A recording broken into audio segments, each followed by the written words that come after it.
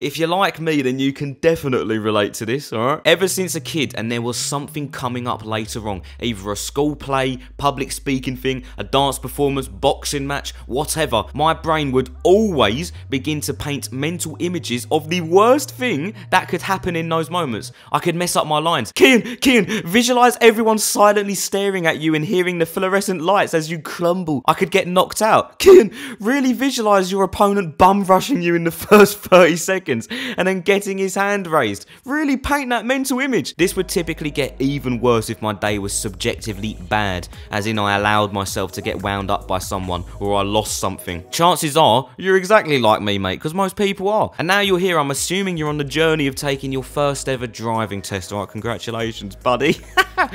and the question is, how do you avoid the absolute pain of fucking it in the first 10 minutes or any minutes? I would question those same things for everything I ever did until I realised something. I've been interested in the concept of self-image for a long time, but it wasn't until I started reading the book Psycho Cybernetics just a few days ago that I had an epiphany. When you imagine the things that could go wrong and ask yourself, how do I stop this?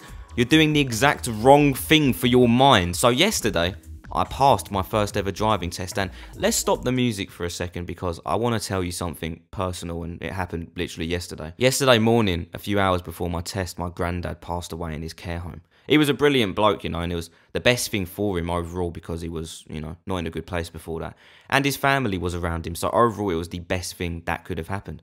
I sat around the kitchen table with my family at 5 a.m. and we talked about everything. They were they were literally saying to me, "We need to get some good news now. Go and smash your test." So I said, "Yes." And then I passed. The reason I'm sharing this story is not to feel bad about any of us. That's not what this is. It's to say that you can be under tremendous pressure or a bad circumstance and still come out with the best results possible. And it all comes down to belief. In this video, we're going to walk through a few things as to how I took failure out of the equation and passed my driving test first time, and they all revolve around mentality preparation. We're going to talk about how to stop coming up with these stupid mental images of defeat and how they actually hurt your subconscious to make your future outcome more like what you visualized. For years, I've dismissed the idea of visualization because it became mainstream and cringe how people spoke about affirmations and all that bollocks. But reading up on the science pointed out a few things to me that actually helped me with my test. Visualization, as far as I'm aware, literally just means to paint a mental, emotional image of the desired results you want in something. For instance, if you have a driving test coming up, you specifically visualize the moments where you're handed your certificate. Maybe you shake the examiner's hand. Maybe the drive back afterward where you and your instructor, mine was called Alan, lovely guy, chat about the test. I did this on just a few days leading up to the test and I specifically tried to capture every possible positive moment after the test. The intention was to create some sort of emotional feeling. Well, this sounds like bollocks. I don't need to know wizard stuff to pass. Allow me to explain the rationality behind visualization because I'm sure you're hearing this thinking, well, this is bollocks because this is what I've thought for years about visualization. It's a bit of a weird term. You have two main parts of your brain the conscious and subconscious. Are you following me? Now, contrary to popular belief, your subconscious is not exactly a second brain. Think of it more like a mechanism that needs to be fed orders by an operator. It's kind of like your conscious is the pilot and your subconscious is the plane. And without the pilot, the plane will pretty much do nothing or crash.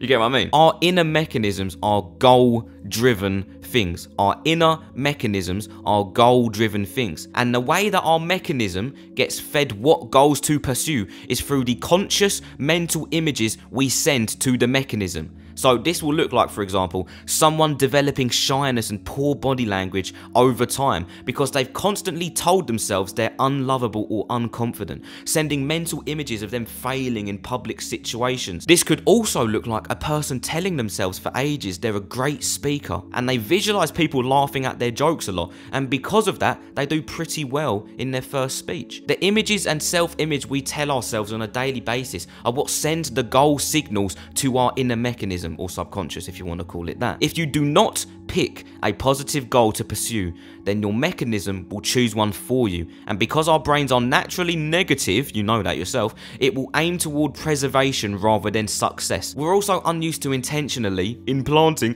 positive mental images of our future. And as a result, we naturally visualize the worst scenarios. The crashing of the car during our test, the bumping into another car as you pull out somewhere, a lorry swerving round the corner and then the examiner having to press the brakes for you. Because we keep visualizing these things in our minds, we will naturally approach the test scared and uncomfortable, which will lead to a worse drive.